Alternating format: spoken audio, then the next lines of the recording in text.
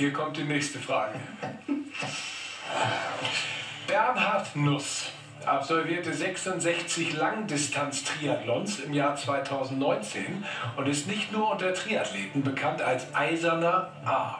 Franke, Hesse oder Saarländer. Der Blick bleibt vorne, bitte, Katharina. Ja. Ich darf aber nach hinten gucken. Aber Hans-Martin hat auch gar keine Ahnung. Ja, da ist nichts zu holen bei ihm. Ja, Nuss. Bernhard Nuss. Was hast du genommen? Ah, Ich habe A den Franken Ist genommen. ja der eiserne Franke. Franke. Ich hoffe es sehr. Na bitte, guck mal, nächster Schritt für dich, Katharina. Läuft.